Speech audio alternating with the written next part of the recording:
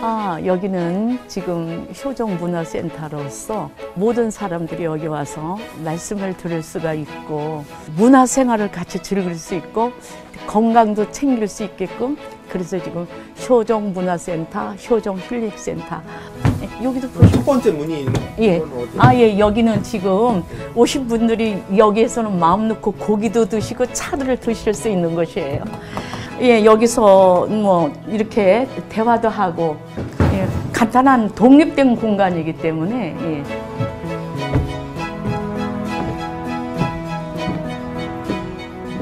여기는 몇 평이나 되는 거예요? 예, 약한 200평 정도 되죠, 건평이.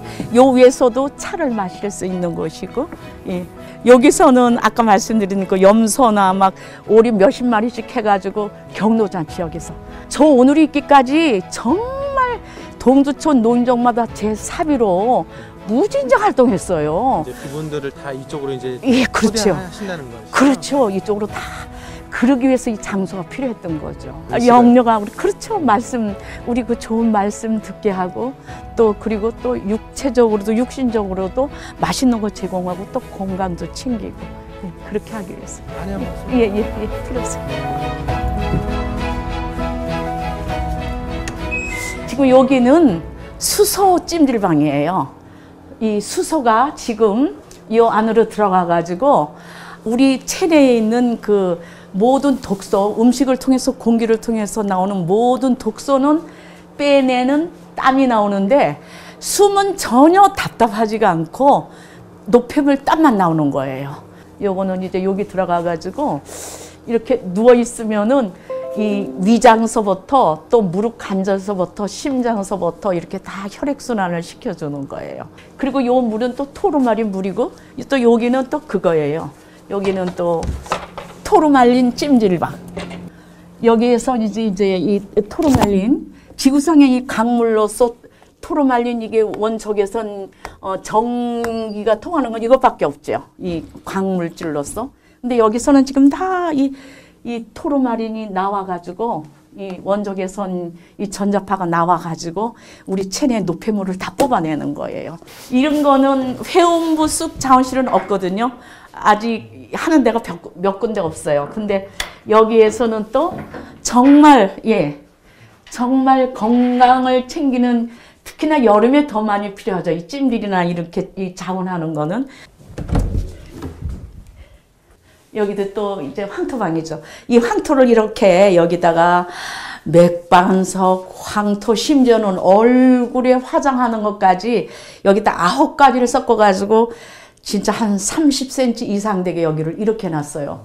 예, 예, 제가 여기서 매일같이 2층, 3층을 다 이렇게 했기 때문에 잠을 자는데 정말 신기할 정도로 몸에 피곤이 풀려요. 예. 어떻게 이렇게 아이디어를 가지고 했느냐고 깜짝깜짝 놀랐죠. 예. 어, 예배 드리는 강의실로 가겠습니다. 보통 보통 예배를 드린다 그러면은 우리 기존 교회에서는 이렇게 조금 좀 단조롭죠. 어, 그래서 너무 경직된 것 같고 그래서 저는 이렇게 정구도 약간 좀 생동감 있는 거를 제가 좀 했고 또 여기서 영화 감상도 할 수 있게끔 이렇게 큰 TV를 놨어요. 사람들이 오면은 예배만 드리는 것이 아니라 영화 감상도 할 수 있게끔 3층에 우리 집에서는 제일 오면은 어, 마음이 당기는 것이죠. 전망도 좋네요. 예, 전망이 정말 이 3층은 전망이 좋아요. 자, 우리 참부모님이 매일같이 부부화합, 부부화합, 부부 사랑을 제 1번으로 하시잖아요. 그래서 우리 여기 오시는 분은 이렇게 부부가 행복하게 살으라고 예. 보면은 부부가 서로 끌어안고 뽀뽀하는 장면이죠. 그리고 여기도 보면은 부부가 이렇게 서로 사이좋게 붙어서 살으라고. 그리고 또 여기도 보면은 오신 것을 환영한다고. 언제든지 오시면 오신 것을 환영한다고. 여기는 음, 완전히 앉아서 원리 말씀도 할 수 있고 1박 2일 수련도 받을 수가 있고 여기 오시면은 찜질도 할 수 있고 노래방도 할 수 있고 영화 감상도 할 수 있고 말씀도 들을 수 있고 고기도 구울 수 있고 등산도 할 수가 있고 다 한꺼번에 이루어질 수 있는 것이죠. 예. 또 이제 이쪽으로 와서 그래서 어, 이거를 통째로 쓰신다는 분들은 생각해가지고 또 여기다가 싱크대까지 놨죠. 예. 사실은요, 우리 식구들이 담임 목사님하고 하나가 되면은 못할 것이 없어요. 우리 식구들이 정말 발전하려면 담임 목사하고 하나가 돼야 돼요. 그러니까 담임 목사님한테 뭐든지 저는 다 여쭤봐가지고 했어요. 제 맘대로 한 게 없었어요. 아, 저희 집에서 제일 분위기 좋으신 곳입니다. 예. 경치가 여기는 지, 황복 지구장님이 여기로 오셨다가 아, 여기 이 주위 자연이 너무 좋다고 이렇게 등산로가 있으면 좋겠다고 그 말씀을 제가 들으면서 여기를 전면을 다 유리로 했죠.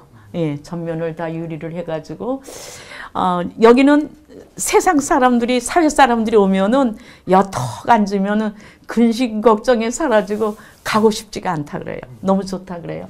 이만한 건물이 없는 데가 어디 있겠습니까만 여기는 이긴 뭐 물건이 비싼 거다 좋다는 걸 떠나서 제가 여기다가 정말 정말 많은 사람을 살리는 귀한 장막이 되게 해달라고 정성을 많이 여기 쏟았지요. 근데 제가 이거 하면서 돈이 없다 그랬더니 또 여기 이거 할 때 와서 저를 도와주고 했던 사람 제가 이제 예배 드리러 전도를 했거든요.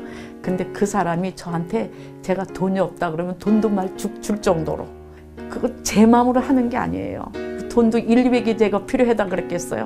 몇 천만 원도 그냥 줘요. 아무 담보도 없이. 예. 그러니까 우리는 하겠다 그러면은 참부모님이 함께 하시지. 이 시대 어머님이 저렇게 정말 다리가 붙도록 정말 저렇게 고생을 하시는데 우리가 하겠다 그러는데 영계 가신 참아버님이 가만히 계시겠어요? 어머님 앞에 효도하겠다 그러는데 가만히 안 계셔요. 어머님하고 아버님하고는 일체가 하나시잖아요. 근데 지상에서 어머님이 저렇게 참 아버님 한 풀어드리겠다고 저러는데 아버님이 여기서 가만히 계셔요? 안 계셔요. 가만히 안 계셔요. 우리가 이 어머님 계실 때 부지런히 사실 통일가에 제일 축복받는 시기가 지금이에요. 영계에서는 참 어머님 함께 하시죠. 지상에서는 참 어머님이 함께 하시죠.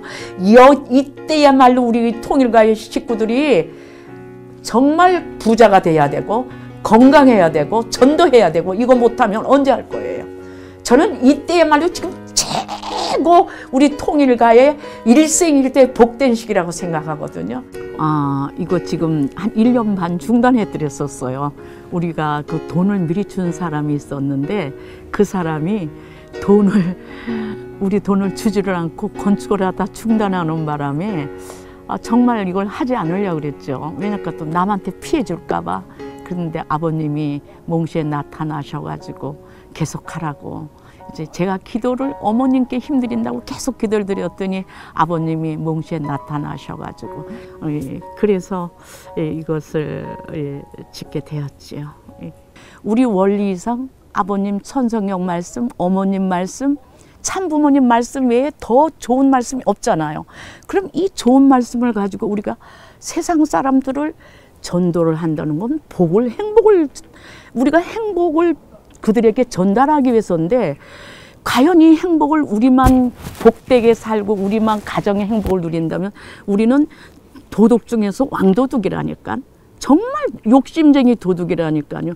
이 귀한 참부모님은 우리만 소유하고 있으니까 그래서 늘 안타까워서 몇십 년 전부터 어떻게 하면은 세상 사람들한테 이 담을 할수 있느냐를 생각했죠. 예배 의식도 사회 사람들이 와도 전혀 거부 반응을 일으키지 않게 정말 칭찬할 아이가 있으면은 부모님께 어떻게 효도했냐 앞에 나와서 예비 시간에도 그 아이를 칭찬해 주면서 선물해 주면서 그 안에서 많은 사람 100명, 200명, 300명 많은 사람들을 예배를 같이 대, 오픈된 예배.